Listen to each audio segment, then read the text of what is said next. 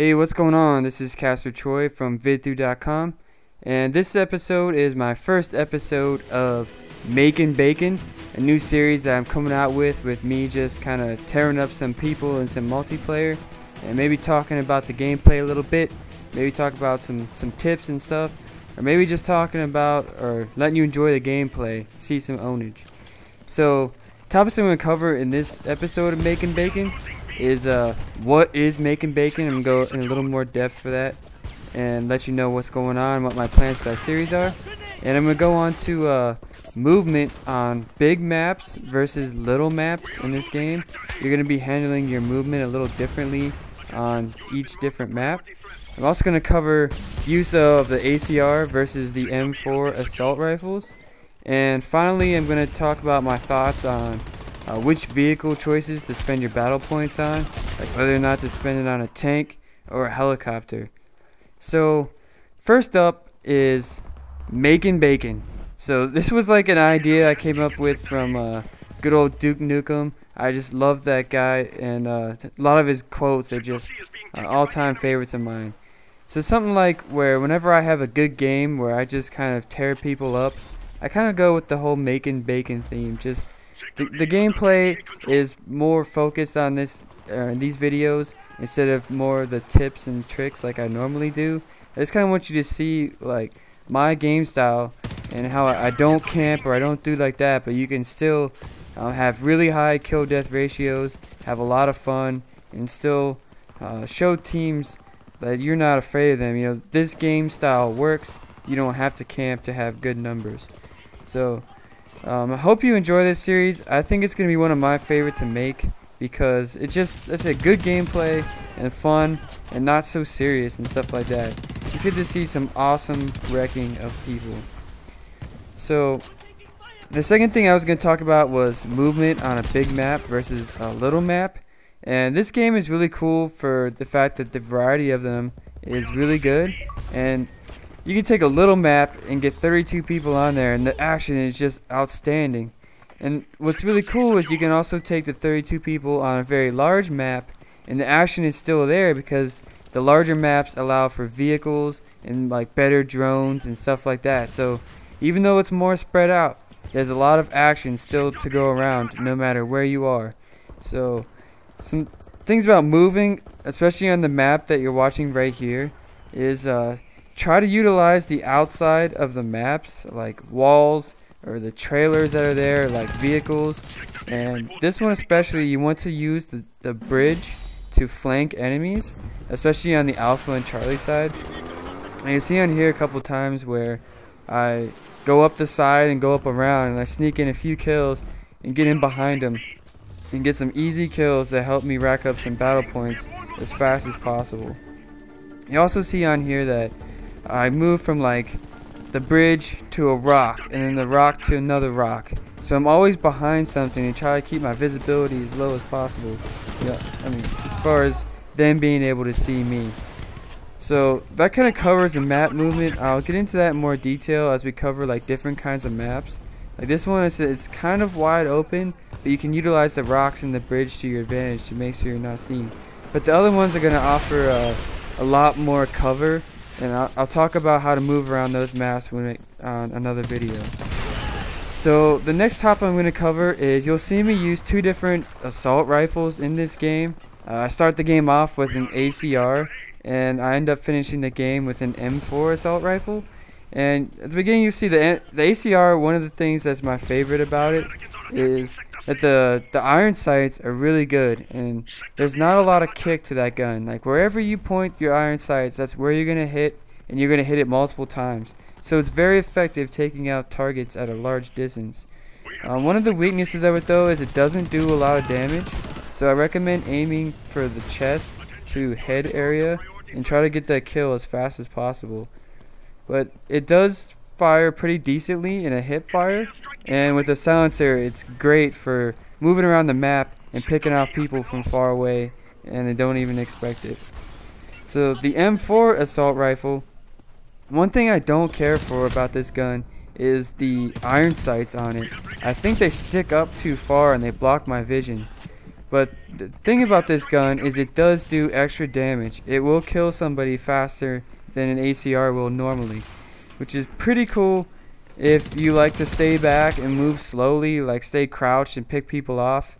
Or if you want to like sit in objective, which I do on here, I try to capture Charlie, and some people are coming in from the pushback of our first capture, and it's really good for picking them off at a distance. It does nice damage, and it's it doesn't kick too much, and it's pretty accurate.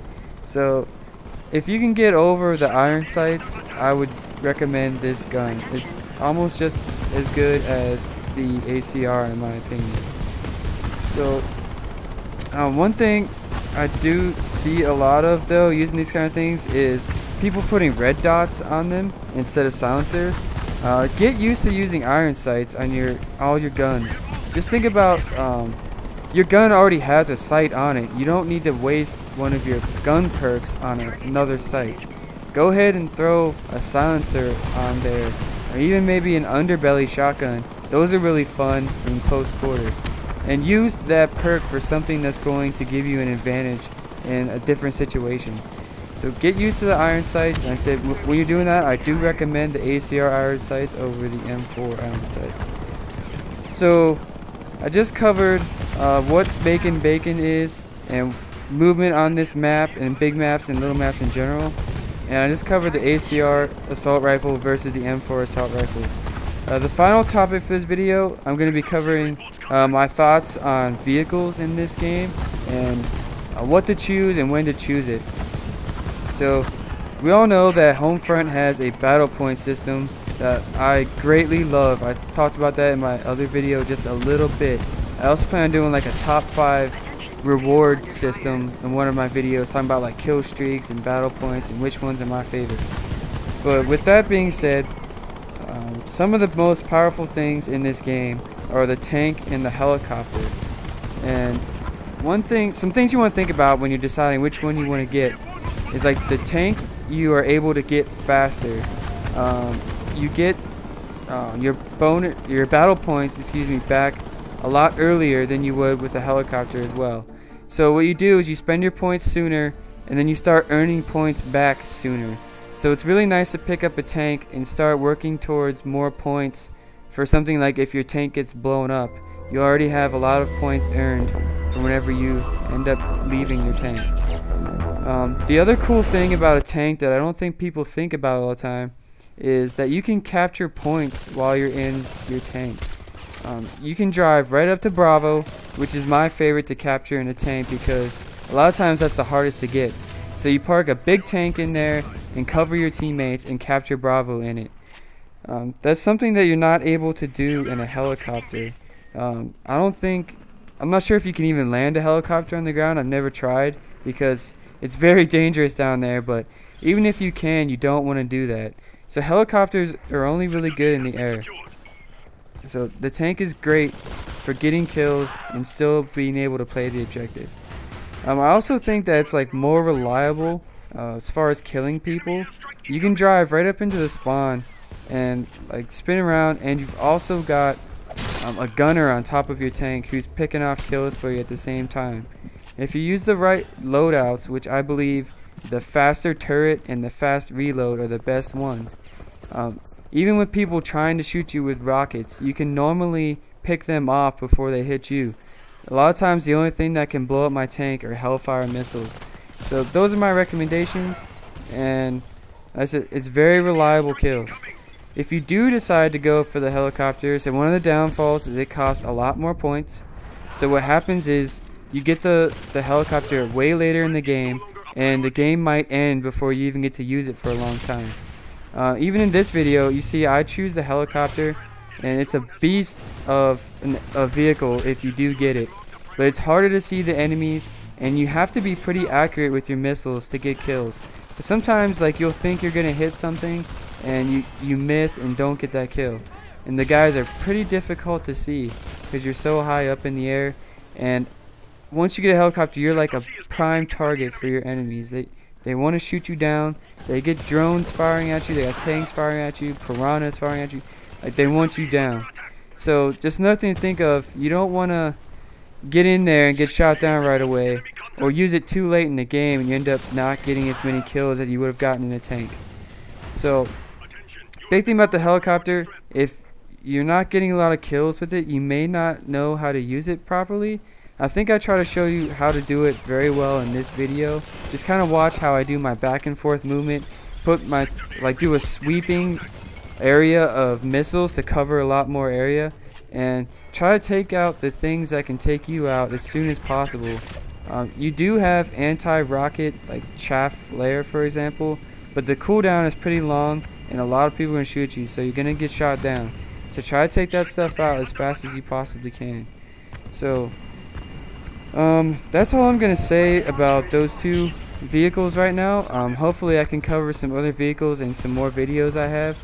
And actually just show some tank gameplay and emphasize the points I made on that. So I hope you enjoyed this video.